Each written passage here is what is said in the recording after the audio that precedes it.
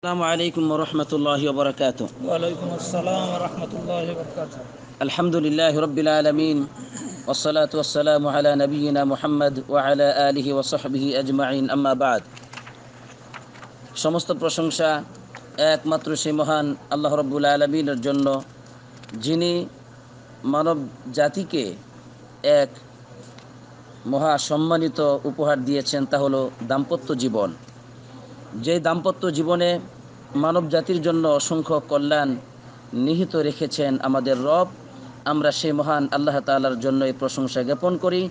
সকলে বলি আলহামদুলিল্লাহ। অথবর সালাত এবং সালাম পড়ি আমাদের সেই রাসূলের উপর যিনি ছিলেন মানব জাতির জন্য উত্তম আদর্শ। কিয়ামত পর্যন্ত তার আদর্শই হচ্ছে এই মানব জাতির জন্য মুক্তির পথ। যিনি একজন স্বামী ছিলেন একজন বাবাও ছিলেন এবং তিনি তার উম্মতের জন্য একজন আদর্শ স্বামী হিসেবে এবং একজন আদর্শ বাবা হিসেবে দৃষ্টান্ত রেখে গিয়েছেন। আমরা সেই রাসুলের উপর সকলেই পড়ি আলাইহি ওয়াসাল্লাম। আজকে মসজিদ নববীতে যিনি খুতবা দিয়েছেন তিনি হলেন ফদিলাতুল শেখ আলী বিন আব্দুর রহমান আল হুদাইফি যে বিষয়ে তিনি খুতবা দিয়েছেন তা অত্যন্ত গুরুত্বপূর্ণ এবং আমাদের জীবনে প্রতিটি মুহূর্তেই তার প্রয়োজন। তা হলো দাম্পত্য জীবনে তালাকের কুফল, কারণ এবং সমাধান নিয়ে তিনি এক গুরুত্বপূর্ণ খুতবা দিয়েছেন। আমরা তার অনুবাদ এখন শুনব ইনশাআল্লাহ। আল্লাহ তালা যেন আমাদেরকে সেই তৌফিক দান করেন, আমিন। প্রিয় ভাইয়ের আমার ইমাম সাহেব সর্বপ্রথম তিনি আল্লাহ রব্বুল আলমিনের তাকুয়ার নসিহত করেছেন। তিনি বলছেন, ফত্তাকুল্লাহ ফি সিররি ওয়াল আলানিয়া, ফামা ফাজা আহাদুন ফি হায়াতিহি ও বাদা মামাতিহি ইল্লা বিত্তাকুয়া ওমা খাবা আহাদুন ও খসিরা ইল্লা বিত্তিবাইল হাওয়া। হে আল্লাহর বান্দারা, তোমরা আল্লাহ রব্বুল আলমিনকে ভয় করো।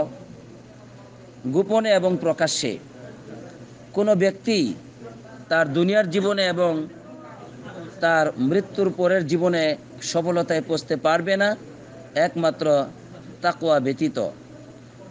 আর যে কোনো ব্যক্তি ক্ষতিগ্রস্ত হয়, একমাত্র তাকুয়াকে বর্জন করার কারণে এবং তার প্রবৃত্তির পথকে অনুসরণ করার কারণে। এ উপদেশ দেওয়ার পরে ইমাম সাহেব, তিনি আল্লাহ রাব্বুল আলমিন যে মানব জাতিকে সৃষ্টি করেছেন একজন মানুষ থেকে অতপর নারী, ওই নারী এবং ওই পুরুষ থেকেই অসংখ্য মানুষকে সৃষ্টি করেছেন। আল্লাহ তালা এই ব্যাপারে কোরআনুল কারিমে বলেছেন, ইয়া ইউহান্না সুত্তাকু রব্বাকুমুল্লাদি খলাকুম মিনাফসি ওয়াহিদা। হে মানব জাতি তোমরা তোমাদের ওই রবকে ভয় করো যে রব তোমাদেরকে একটি আত্মা থেকে সৃষ্টি করেছেন। অখলাক মিনহা জাউজাহা ওই আত্মা থেকে ওই আত্মা থেকেই আল্লাহ তালা তার স্ত্রীকে সৃষ্টি করেছেন। অবাসামিন হুমা রিজালান কাথির ওয়ানিসা আ অতপর ওই দুইজন থেকেই অসংখ্য পুরুষ এবং অসংখ্য নারীকে আল্লাহ তালা সৃষ্টি করেছেন। সুতরাং এভাবেই আল্লাহ তালা আমাদের জীবনকে শুরু করেছেন। এরপর ইমাম সাহেব দাম্পত্য জীবনের গুরুত্ব বলছেন যে আমাদের শরীয়ত এই গুরুত্ব দিয়েছে যে একজন পুরুষ, একজন নারীর সাথে তার মিলন ঘটবে। শরীয়তের বিধান অনুযায়ী যা এটা মানব জাতির জন্য প্রয়োজন, এটা ব্যতীত মানব জাতি কখনো সুপ্রতিষ্ঠিত হতে পারে না। তবে সেটা হলো মিন তরিক নিকাহ, লা মিন তরিক সিফা সেটা হলো বৈবাহিক জীবনের মাধ্যমে, জিনা ব্যবিচারের মাধ্যমে নয়। কেননা দাম্পত্য জীবন বা বৈবাহিক জীবন, এই পথ হলো এমন একটি পথ যা হলো পবিত্রতার পথ। পবিত্রতার পথ। এরপরে এটা হলো বরকত এবং কল্যাণের পথ, রিজিকের পথ, সুস্থ পবিত্র আত্মার পথ, জীবনে পবিত্র বংশধর পাওয়ার পথ। সেটা হলো এই বৈবাহিক জীবনের মাধ্যমে যা আসতে পারে। ইমাম সাহেব আরও বললেন, ইমাম সাহেব যে, আর জেনার পথ হলো এমন পথ যা হচ্ছে খারাপ, নিকৃষ্ট, অন্তরের অন্তর্বেদীর কারণ। এবং পুরুষ ও নারীর ধ্বংসের পথ হলো জিনার পথ, বিপদ, মুসিবতের পথ দুনিয়ার জীবনে এবং আখিরাতের জীবনে। আর এটা হলো বরকত নষ্ট হওয়ার পথ, দুনিয়া ও আখিরাতের জীবনে আজাবের পথ, জিনার পথ। সুতরাং এইভাবে ইমাম সাহেব দাম্পত্য জীবনের গুরুত্ব বর্ণনা করলেন, বৈবাহিক জীবনের উপকারিতা, ফলাফল বর্ণনা করলেন এবং সাথে সাথেই জিনার কুফল বর্ণনা করলেন। এরপর ইমাম সাহেব একটি হাদিস উল্লেখ করলেন, যে হাদিসের মধ্যে রাসুল্লাহ সাল্লাহ সাল্লাম সুন্দর করে চিত্র তুলে ধরেছেন যে জিনা ব্যবিচারের পথ কত ভয়ঙ্কর পথ। হাদিসটি লম্বা, তবে আমি জিনার অংশটুকুই বর্ণনা করছি। নামাজের অংশ রয়েছে জাকাত আদায়ের অংশ রয়েছে। তবে বলি সারমর্ম যে আল্লাহ রাসুল সাল্লাহ সাল্লাম যখন তাকে মেরাজে নিয়ে যাওয়া হয়, তখন অনেক আশ্চর্য ঘটনা তিনি দেখেছিলেন এবং একটি দেখতে পেলেন যে ফেরেস্তাগণ এক শ্রেণির মানুষদেরকে তাদের মাথায় আঘাত করছে। কি করছে বলুন তো? আঘাত করছে। অতপর দেখা যায় যে যখন ওই আঘাত করার পর পাথর ছিটকে পড়ে যায় অনেক দূরে এবং ওই মানুষগুলিও ক্ষতবিক্ষত হয়। ওদের ওদের মাথা পরিশেষে যখন ওই পাথরের কাছে যাওয়া হয়, তখন মাথা আবার পূর্বের মতো ঠিক হয়ে যায়। এভাবে তাদেরকে কষ্ট দেওয়া হচ্ছিল। তখন রাসুল্লাহ সাল্লাহ আলি সাল্লাম জিজ্ঞাসা করলে, তখন ফেরেস্তাগণ বললেন বা জিবরুল আলাইসাল্লাম বললেন যে এরা হলো যে তাদের কাছে তা তথা কলু রুউ সুহুম আনি সলায়াতিন মাকতুবা, ফরজ নামাজ থেকে তাদের মাথা খুব ভারী ছিল। মানে ফরজ নামাজ, এটা তাদের কাছে খুব ভারী একটা বিষয় ছিল, মাথার মধ্যে একটা ভারী বিষয় ছিল, এজন্য তারা ফরজ নামাজ আদায় করে নাই বলেই তাদেরকে এইভাবে শাস্তি দেওয়া হচ্ছে। আরেক দল তারা জাকাত আদায় করে নাই তাদেরকেও শাস্তি দেওয়া হচ্ছে এইভাবে যে তাদের তাদের অবস্থা ছিল এরকম যে তাদের সামনের দিকে কিছু কাপড় ছিল আর পিছনের দিকে কিছু লজ্জাস্থানে কাপড় ছিল। আর এগুলো ঘুরে বেড়াচ্ছে, উটের মতো করে, গরু, ছাগলের মতো ঘুরে বেড়াচ্ছে। আর সামনে এবং পিছনে একটু একটু কাপড়। আর তারা যা খাচ্ছে সেটা হলো কাঁটাযুক্ত ঘাস, এরপরে আপনার কাঁটাযুক্ত ফল জাক্কুম ফল, এগুলো তারা খাচ্ছে, জাহান্নামের পাথর চেটে চেটে খাচ্ছে। এগুলো খাচ্ছে, তখন জিব্রাইল আলাইসাল্লাম জিজ্ঞাসা করা হলে নবী করিম যখন জিজ্ঞাসা করলেন, মা হা উলাই জিব্রিল, ইয়া জিব্রাইল? এরা আসলে কারা? তখন বলেন যে এরা হলো আপনার উম্মত যারা, লা তারা তাদের সদকা আদায় করতো না জাকাতের সদকা কি বলে জাকাত আদায় করতো না, সম্পত্তির। এজন্য তাদের এই শাস্তি। আর তৃতীয় নম্বর যে শাস্তি হলো, সেটা হলো, এবার শুনুন। যে পর আমি আরও দেখতে পেলাম এমন কম যে কমের সামনে খুব সুন্দর একটা পাত্রে গুস্ত রাখা আছে কেমন, যেটা পাকানো গুস্ত, ভালো গুস্ত পাকানো। আর আরেকটা পাত্রে রাখা আছে খারাপ গুস্ত, দুর্গন্ধময় খারাপ গুস্ত একটা পাত্রে রাখা আছে। তখন দেখা যায় যে এই লোকগুলো তারা কি করছে যে ভালো পাত্রের যে গোস্ত, এটা পাকানো গোস্ত গোস্তকে ছেড়ে দিয়ে তারা ওই খারাপ পাত্রের যে গোস্ত রাখা আছে, ওই গোস্ত তারা খাচ্ছে। তখন রাসুল্লাহ সাল্লাহ আসলাম জিজ্ঞাসা করলেন, জিব্রাইল, ব্যাপারটা কি এমনটি কেন? তখন জিব্রিল আলী ইসলাম জবাব দিলেন যে, জিব্রাইল আলাইহিস সালাম জবাব দিলেন তখন যে হাদা রজুল মিন উম্মাতিক তাকুনু ইনদাহু ইমরাআ আল হালাল আত তাইয়িব ফায়াতি ইমরাআতান খাবিসাতান ফায়াবিতু ইনদাহা যেটা হলো আপনার উম্মতের এমন একজন ব্যক্তি, যে ব্যক্তির হালাল স্ত্রী ছিল, পবিত্র স্ত্রী ছিল, কিন্তু সে আসলে পবিত্র স্ত্রীর কাছে যেত না। সে খারাপ নোংরা স্ত্রীর কাছে আসতো এবং ওই নোংরা বা খাবিস নারীর কাছে সে রাত্রি জীবন রাত্রি যাপন করত আর এভাবেই সকাল করত। এবং ওয়ালমার আতু তাকুমু ইংদা মিন ইংদি জাউজিহা হালালান তৈবান ফাতাতি রজুলান খাবিসান ফাতাবিতু মাআহা হাত্তা তুসবিহা যে আবার ওই নারীও দেখা যায় তার হালাল স্বামী ছিল, কিন্তু সে হালাল স্বামীকে গ্রহণ না করে সে রাত্রি যাপন করত। খারাপ পুরুষের কাছে, অবৈধ পুরুষের কাছে এভাবে সকাল করতো। তো এই জন্য ওই ওই নারী এবং পুরুষ তারা খারাপ গুস্ত খাচ্ছে, যেটা অবৈধ অপরিচ্ছন্ন, দুর্গন্ধ, নোংরা, সেটা খাচ্ছে, অথচ ভালো পাত্রে সেখানে গোস্ত পাকানো, সুন্দর, সুস্বাদু গোস্তকেও তারা বর্জন করছে নাউজুবিল্লা তো ইমাম সাহেব, এটা দ্বারা জিনার যে অপকারিতা, জিনা যে একটি নিকৃষ্ট পাপ, সেটাই তিনি তুলে ধরেছেন যে আখেরাতে তাদের কি অবস্থা হবে? দুনিয়াতে যাদের এই ধরন রুচি, আল্লাহ আমাদেরকে হেফাজত করুক, আমিন। এরপর ইমাম সাহেব তিনি স্বামী স্ত্রীর বন্ধনের কথা বলে দিলেন যে স্বামী স্ত্রী বন্ধন, এটা হচ্ছে একটি পবিত্র বন্ধন, যেখানে অসংখ্য কল্যাণ রয়েছে, যেখানে পবিত্র সন্তান রয়েছে। এই বন্ধনের মাধ্যমেই সেটা আসে। আর এটা হলো খুবই সুদৃঢ়, অটল এক বন্ধন, যা কোরআনুল করিম আল্লাহ রব্বুল আলমিন পরিষ্কারভাবে বলে দিয়েছেন সুরা নিসাই এ সম্পর্কে আলোচনা করেছেন যে তোমরা ওয়াইন আরদতুম ইস্তিবদাল যাওজিন মাকানা যাওজিন ওয়া আতাইতুম ইহদাহুন্না কিনতারান ফালা তাখুযু মিনহু শাইআ আতাখুযুনাহু বুহতানা ওয়া ইসমান মুবিনা وكيف تأخذونه وقد أفضى بعضكم إلى بعض وأخذنا منكم ميثاقا غليظا এখানে যেটা বোঝানো হচ্ছে সেটা হলো যে যে তোমরা যদি একটি স্ত্রীর স্থলে আরেকটি স্ত্রীকে গ্রহণ করতে চাও মানে পরিবর্তন করতে চাও তাহলে তোমরা তো কি করেছ? যে অনেক সম্পত্তি দিয়েছ তাদেরকে, তবে সেই সম্পত্তি থেকে তোমরা কিছু গ্রহণ করবে না। তাহলে স্ত্রীকে তালাক দিলে কিন্তু কোনো সম্পত্তি গ্রহণ করা যাবে না।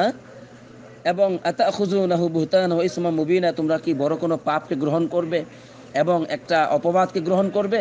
কেননা তোমরা তো কীভাবে গ্রহণ করতে চাও? অথচ একজন আরেকজনের সাথে তোমরা মিলন ঘটিয়েছ একজন আরেকজনের সাথে।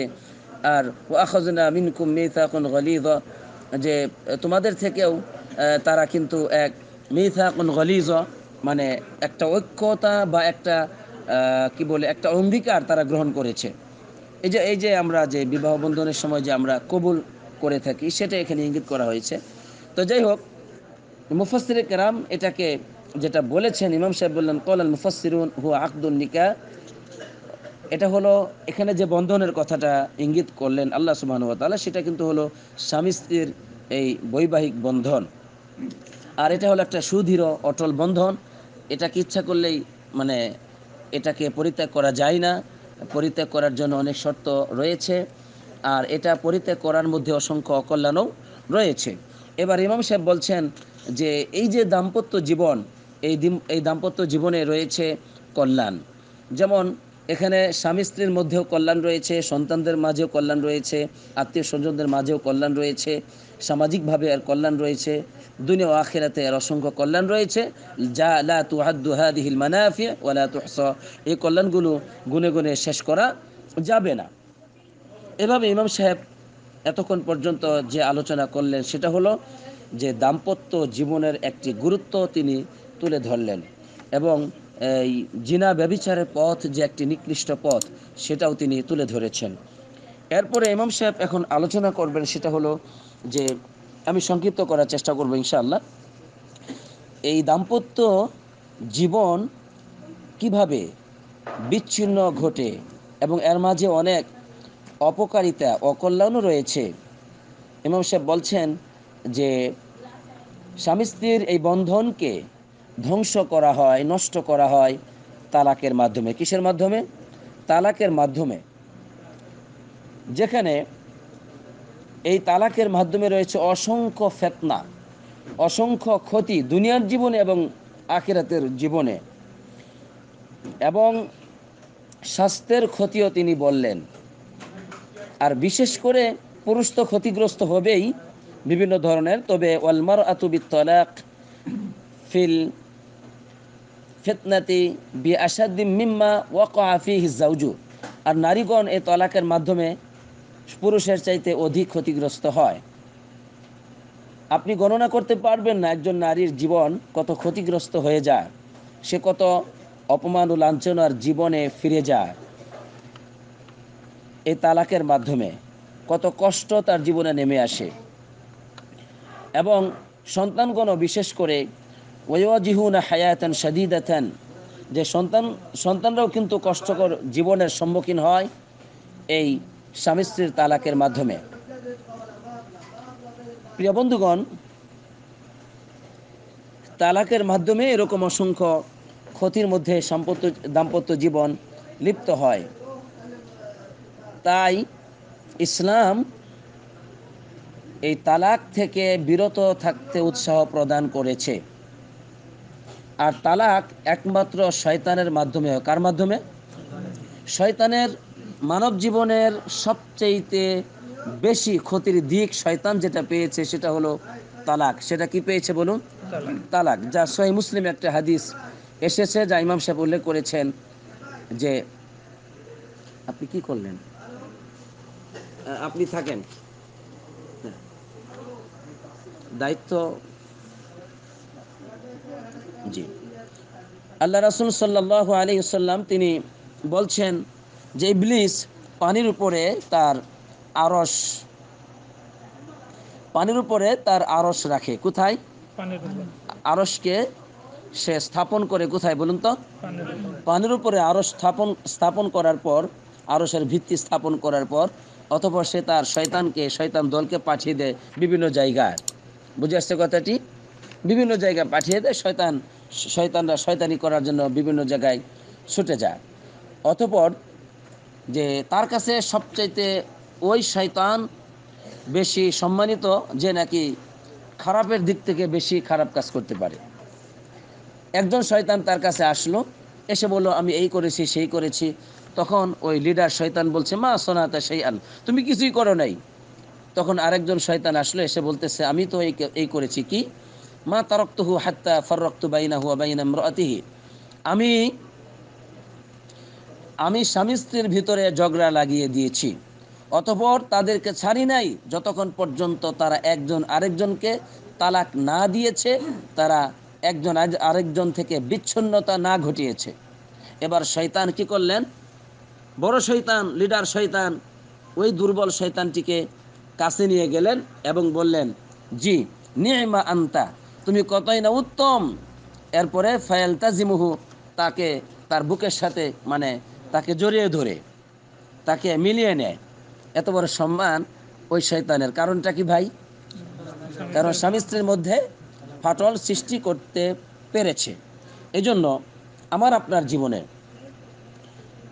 যত অকল্যাণ নেমে আসে, দাম্পত্য জীবনে সেগুলো এই তালাকের মাধ্যমে, স্বামী স্ত্রীর ঝগড়ার মাধ্যমে আপনি সফলতার দিকে চলছেন, আপনার বৈবাহিক জীবনের সমস্যা সৃষ্টি হয়েছে, আপনি নেমে যাবেন।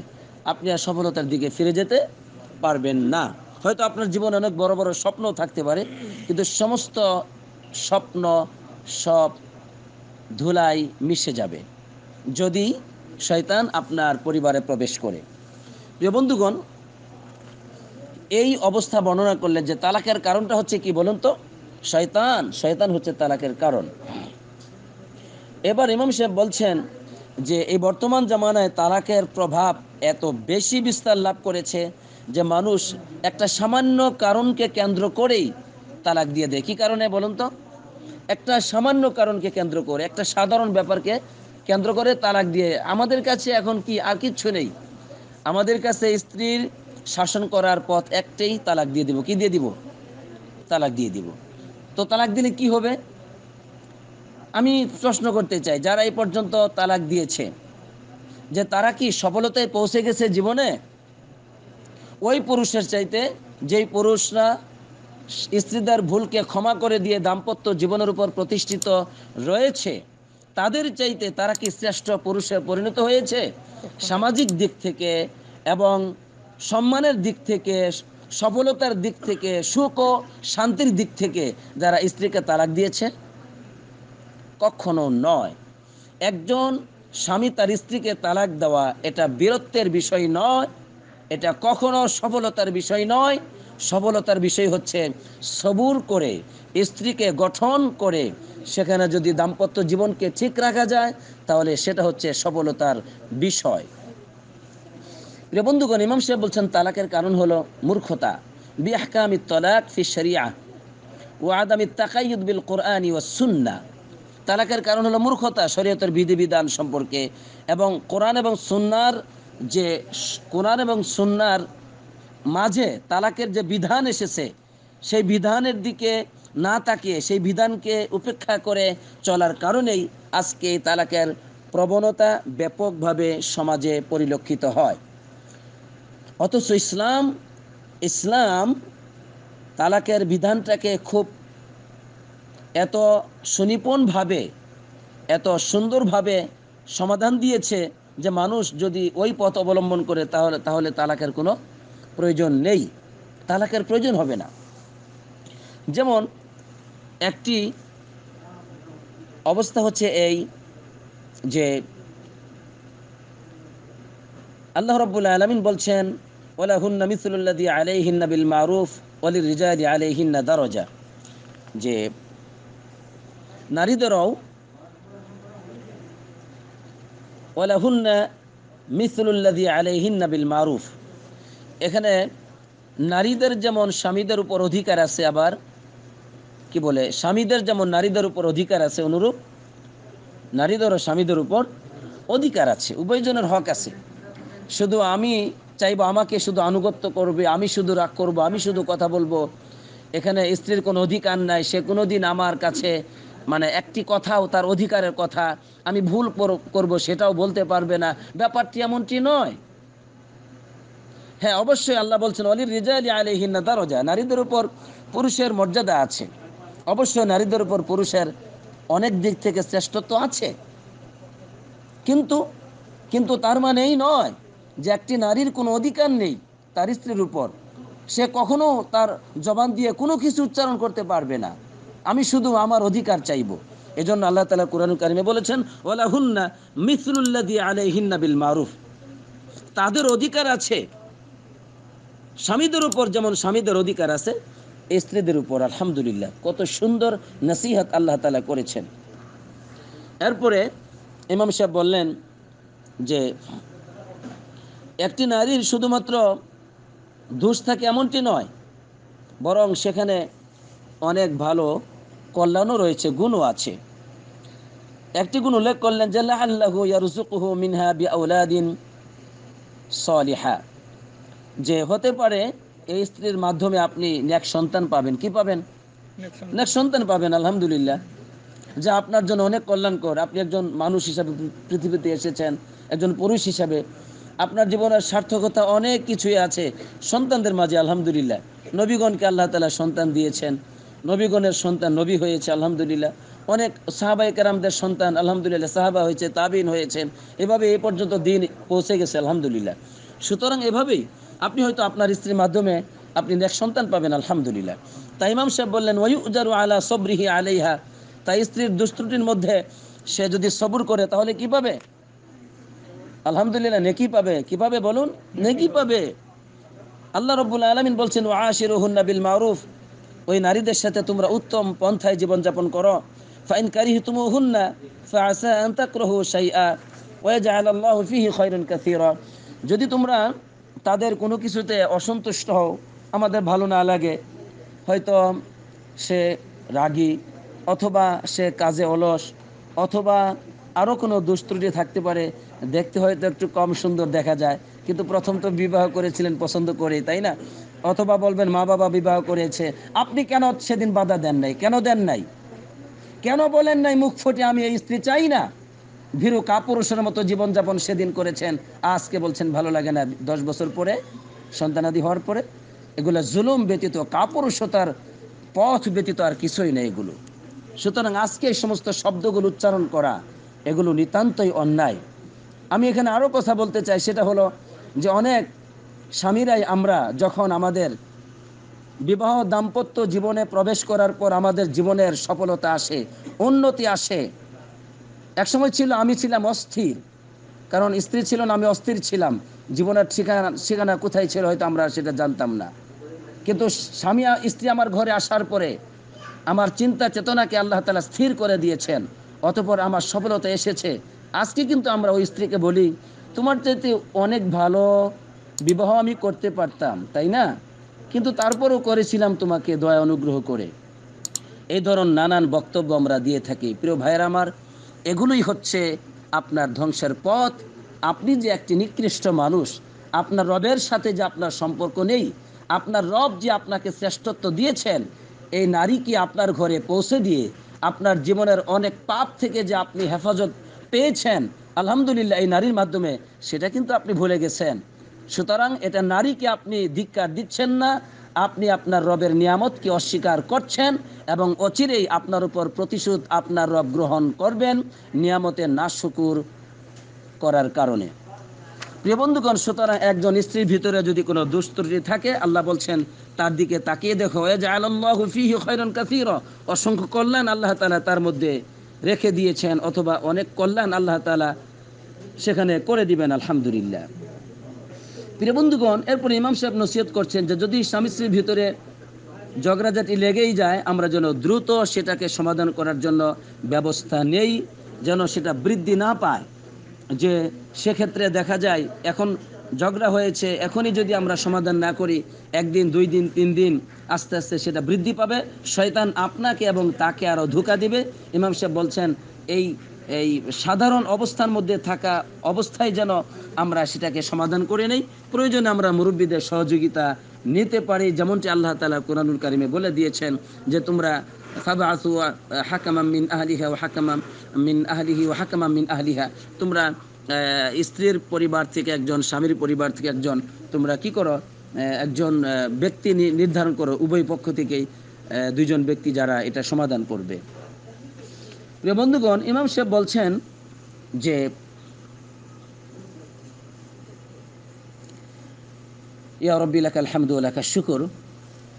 যে, অমিন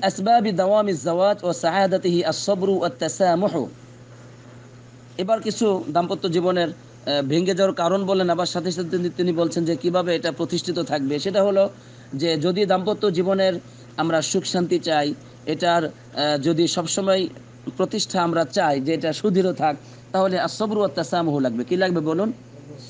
আসবরু সবুর লাগবে, ধৈর্য লাগবে। ধৈর্য ব্যতীত দাম্পত্য জীবন কখনো সুখী হতে পারে না, টিকে থাকতে পারে না। অত্যাসামহ যদি একে অপরকে আমরা ক্ষমা না করি একে অপরের দুষ্কে যদি আমরা মার্জনা না করি, তাহলে সেটাও কখনো কি হবে না বলুন তো? অটল থাকবে না, টিকে থাকবে না। কিন্তু ক্ষমা তো আমাদের কাছে নেই। ক্ষমা তো আমরা কখনো করি না। কেউ করি না। অনেক ক্ষেত্রে স্বামীও যেমন ছাড় দেয় না, স্ত্রীও ছাড় দেয় না। তখন পরিশেষে কি? তখন তালাক এবং বিচ্ছিন্নতা ঘটে যায়। এবং সে বলেন যে ছাড় দিতে হবে, না হয় এটা টিকে থাকবে না। আর কোরআনে আল্লাহ রব্বুল্লা আলমিন মানুষকে ক্ষমা করতে বলেছেন আফিন আনিন নাস যে যারা মানুষকে ক্ষমা করবে, মানুষের দুষগুলিকে তারা হচ্ছে জান্নাত জান্নাতবাসী আলহামদুলিল্লাহ। এজন্য ক্ষমার পথ অবশ্যই আমাদেরকে রাখতে হবে। ক্ষমার পথ বন্ধ করলে চলবে না। স্বামীও ক্ষমা করবে এবং স্ত্রীও ক্ষমা করবে। অনেক সময় অনেক সময় ক্ষমা না করার কারণে যা ঘটে আরও বেশি অপরাধ ঘটে, ঠিক না? হয়তো একটা স্ত্রী স্বামীর কোনো ভুল দেখেছে, হতে পারে কোনো ভুল হয়ে গেছে, কিন্তু যখন স্ত্রী সেটাকে সবুর করতে না পারে এবং সেটার আঘাত করে, তার মান সম্মানের উপর আঘাত করে, তখন দেখা যায় স্ত্রী, স্বামী তখন স্ত্রীর উপর আঘাত করে, ঠিক না? তখন মারে, ঘর থেকে বের করে দেয় লাঞ্ছিত করে, অপমানিত করে। এটা কেন হলো? স্ত্রীর উচিত ছিল স্বামীর এই দুষ্টাকে গোপন করা এবং আরও ভালোবাসা দিয়ে তাকে চিকিৎসা করা। কিন্তু ভালোবাসা নয়, বরং সেখানে সে আরও ওর গোপন দুষ্টাকে মানুষের কাছে প্রকাশ করেছে। অথবা রাগা, রাগারাগি করে বাবার বাড়ি চলে গেছে, গোপন বিষয় যেটা প্রকাশ করলে স্বামীর ক্ষতি হবে, সম্মানের ক্ষতি হবে। কিন্তু দেখা যায় যখন প্রকাশ করেছে, তখন সে যেভাবেই হোক স্বামীর উপর স্ত্রীকে মেরেছে, আঘাত করেছে এবং তালাক পর্যন্ত দিয়েছে। এতে কি স্ত্রী বেশি? এখন তো সে অনেক নোংরার কাজে লিপ্ত হচ্ছে এখন। এখন তার স্বামী নাই, এখন সে অবৈধ অবৈধ মেলামেশায় পর্যন্ত লিপ্ত হচ্ছে। এখন তো অনেক ছেলেদের সাথে তার সম্পর্ক গড়ে তুলছে। এটাকে নিকৃষ্ট পথ নয়? সুতরাং আগে প্রথম প্রথম স্বামী একটু ভুল করেছিল, সাথে সাথেই সে প্রতিশোধ যে সে গ্রহণ করল। এ গ্রহণ করে তো আজকে সে একটা নারী জিনা, ব্যভিচার পর্যন্ত লিপ্ত হয়ে গেল আজকে। অনুরূপভাবে স্বামীও দেখা যায় স্ত্রীর সামান্য একটি ভুল হয়েছে। সেখানে সে ভুল করার পর সবুর করে নাই আজকে কি হয়েছে? আজকে সেই ভুল কেন? তার চাইতে বড় বড় ভুল এই স্বামী লিপ্ত হচ্ছে। আজকে কোথায়? কোথায় আজকে পবিত্রতার বাণী, পবিত্রতার পথ? আজকে তো তুমি নিকৃষ্ট হয়ে গেলে। জিনা বেবিচারের মতো পথে আজকে তুমি জীবনযাপন করছ এবং স্ত্রীও করছে। সুতরাং মানব জীবনে অপরাধ ঘটবেই, এটাই সত্য। কিন্তু সে অপরাধের সে অপরাধকে ক্ষমা না করে, সংশোধন না করে, সেটাকে যদি আমরা বড় করে, চিকিৎসা না করে বড় করতে যাই, তাহলে ক্ষতিগ্রস্ত আমি হব না, আমরা সকলেই হব। স্বামীও হবে স্ত্রী হবে। এই জন্য এই ব্যাপারগুলি লক্ষণীয়। আল্লাহ আমাদেরকে তৌফিক দান করুক আমি প্রিয় অনেক লম্বা কথা আমি সব বলছি না, আমি সংক্ষিপ্ত করে দিচ্ছি। যে ইমাম সাহেব একটি হাদিস উল্লেখ করেছেন যে একজন নারীর মর্যাদা আছে। সে যদি তার স্বামী যা পছন্দ করে, স্বামী যা পছন্দ করে সেগুলো সে যদি সে আদায় করে, তাহলে এক্ষেত্রে স্ত্রীর অনেক মর্যাদা, আলহামদুলিল্লাহ। ইমাম সাহেব উল্লেখ করলেন যে, আল্লাহ নবী সাল্লাহ সাল্লাম বলেছেন, যখন একজন নারী সে পাঁচটি পাঁচটি কাজ করবে কয়েকটি কাজ করবে, তখন তার জন্য জান্নাতের শুভ সংবাদ আছে। এক নম্বর, ইদা সল্লাথিল মার ও খামসাহা পাঁচক্ত নামাজ যখন একজন নারী আদায় করবে এবং সে রমজান মাসে রোজা রাখবে এবং তার লজ্জাস্থানকে হেফাজত করবে এবং সে অত জাউজাহা স্বামীর আনুগত্য করবে। তখন কিল আলহা দুখুলিল জান্না মিন আইবাবিল জান্না শিতা। তখন তাকে বলা হবে, তুমি জান্নাতের যে কোনো দরজা দিয়ে ইচ্ছা প্রবেশ করো। সুবহান আল্লাহ কয়টি কাজ বলুন? এক নম্বর পাঁচক্ত নামাজ আদায় করা। দুই নম্বর, রমজানের রোজা রাখা। তিন নম্বর, লজ্জাস্থানের হেফাজত করা। লজ্জাস্থানের হেফাজতের সাথে কিন্তু পর্দা পুষি দাও। এটাও চলে আসবে, বুঝে আসছে কথাটি? স্বামী যার সাথে সম্পর্ক করতে, কথাবার্তা বলতে অপছন্দ করেন এগুলো থেকে বিরত থাকতে হবে। সাথে সাথে আবার স্বামীর আনুগত্য করা। আচ্ছা তো এগুলো করলে আলহামদুলিল্লাহ জান্নাতে শুভ সংবাদ আছে, আলহামদুলিল্লাহ। স্ত্রীকে আরও কিছু নসিহত করলেন যে, তালাকের অন্যতম কারণ হলো যে একজন স্ত্রী দেখা যায়, সে স্বামীর হক আদায় করে না, স্বামীর আত্মীয় স্বজনদের হক আদায় করে না, সে স্বামীর নিকটতম ব্যক্তিদের হক আদায় করে না। তখন এগুলো না করার কারণে দেখা যায় এই তালাকের অন্যতম একটি কারণ হিসাবে এগুলোই একটা তালাকের অন্যতম একটা কারণ হিসাবে দাঁড়ায়। এজন্য একজন স্ত্রীর উচিত যে তার স্বামী কি পছন্দ করে সেগুলো করা এবং স্বামীরও উচিত তার স্ত্রী কি পছন্দ করে সেগুলো করা। তাহলেই এই দাম্পত্য জীবন সুখী হবে এবং তালাকের পথ গ্রহণ করতে হবে না।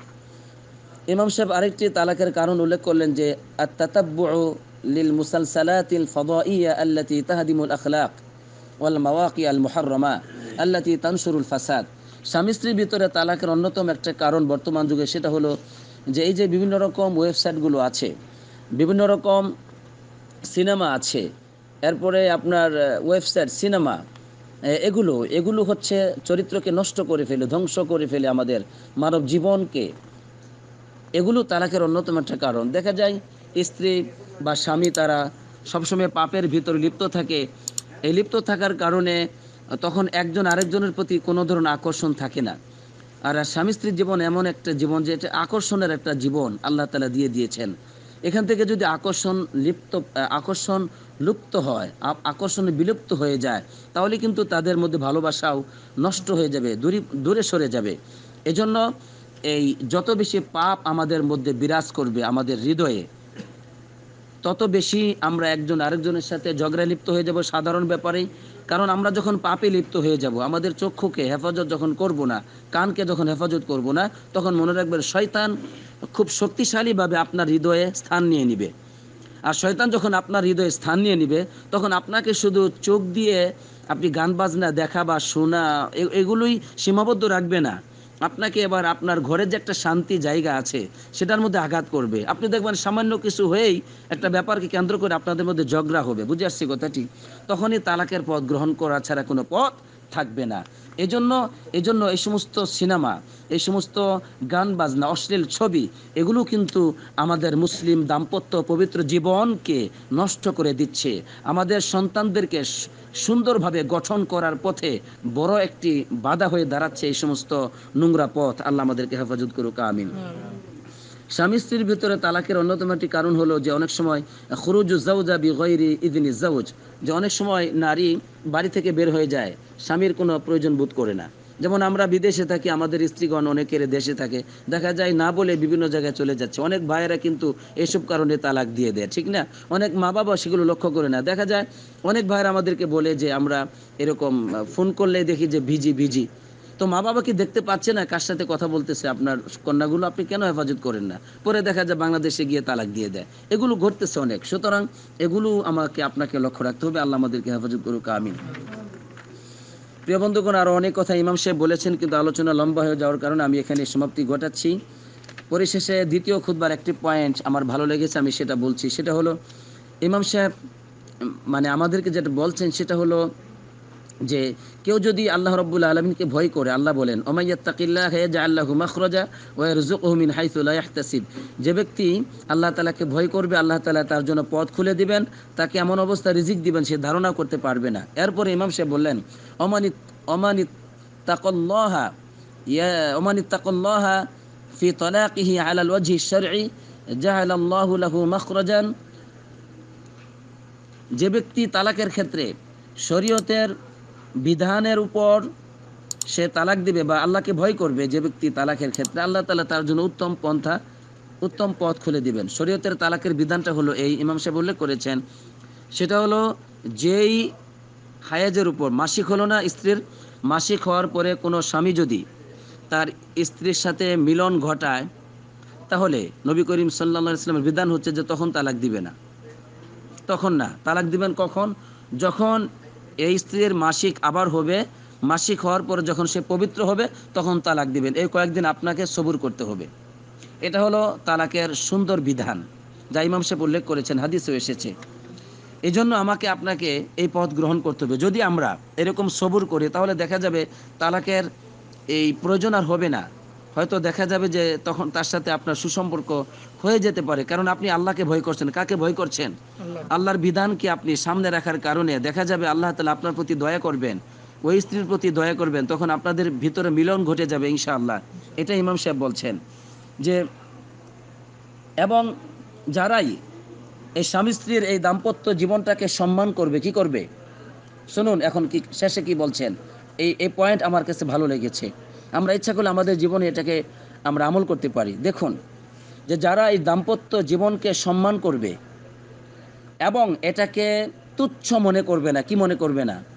তুচ্ছ মনে করবে না। বারাকাল্লাহু লাহু ফি জাওয়াজিহি ওয়া নালা আকিবাতা হাসানাতান। সুবহানাল্লাহ।